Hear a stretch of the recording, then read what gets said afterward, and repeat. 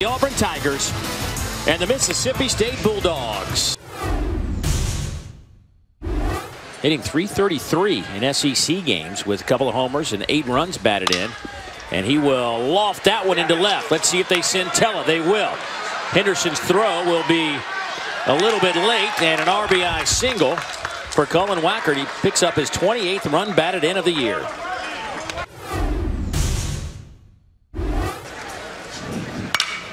And Wes Rea tattoos one to left center.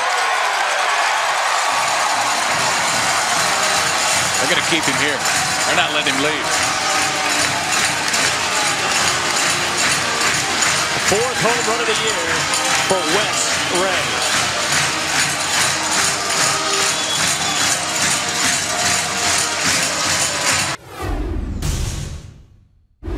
That's where you get hurt. Throw down to second as a strike. They get the strikeout at home, but then the errant throw. I shouldn't, shouldn't say errant throw. Miscommunication. It appeared they may have been able to get the double play, but a run crosses. Smoked over the glove of the third baseman, Detz, and that'll score one.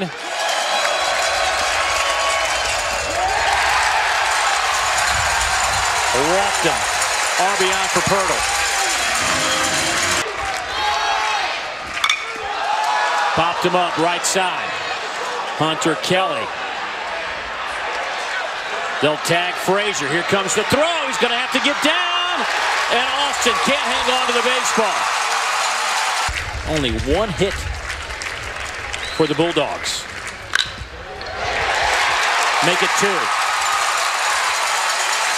Renfroe steps on home plate. And the Bulldogs lead four to three.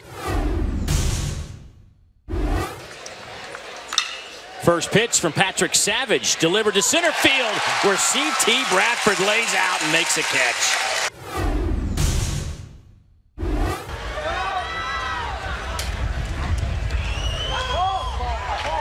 And they're going to call a balk.